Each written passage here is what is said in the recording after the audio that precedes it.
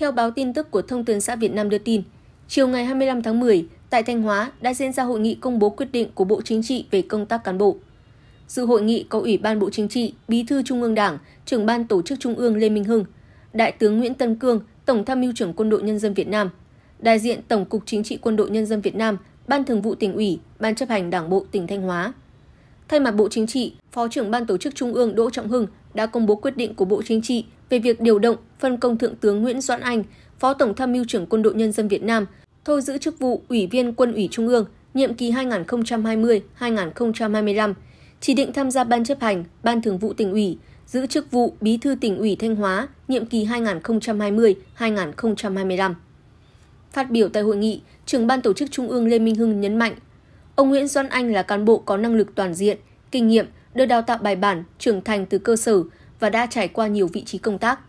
Trong quá trình tham gia công tác, dù ở cương vị nào, địa bàn nào, ông Nguyễn Doãn Anh đều nỗ lực rèn luyện và có đóng góp tích cực cho cơ quan, địa phương đơn vị.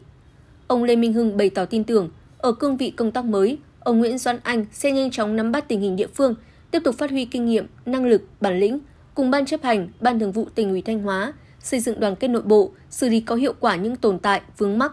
phần đấu đạt kết quả tốt chỉ tiêu, nhiệm vụ nghị quyết Đại hội Đảng bộ tỉnh Thanh Hóa lần thứ 19, gắn với nghị quyết Đại hội thứ 13 của Đảng. Ông Lê Minh Hưng đề nghị Ban Thường vụ, Ban chấp hành Đảng bộ tỉnh, lãnh đạo các cấp, ngành của Thanh Hóa tiếp tục nêu cao tinh thần trách nhiệm, đoàn kết, gương mẫu, cùng ông Nguyễn Doãn Anh ổn định tình hình nội bộ, tập trung lãnh đạo, chỉ đạo thực hiện tốt nhiệm vụ chính trị đã đề ra trong năm 2024 và chuẩn bị tổ chức thành công Đại hội Đảng các cấp.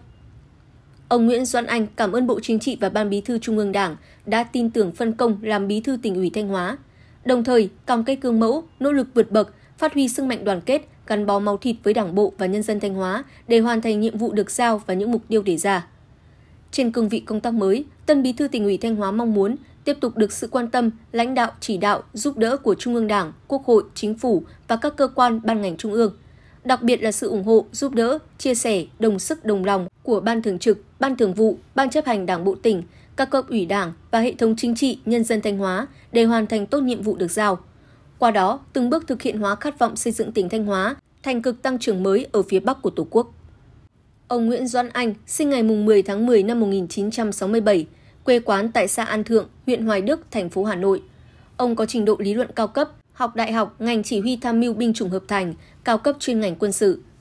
Trước năm 2019, ông giữ các chức vụ Phó Tư lệnh Bộ Tư lệnh Thủ đô, Tư lệnh Bộ Tư lệnh Thủ đô, Tư lệnh Quân khu 4. Năm 2019, ông được thăng hàm Trung tướng.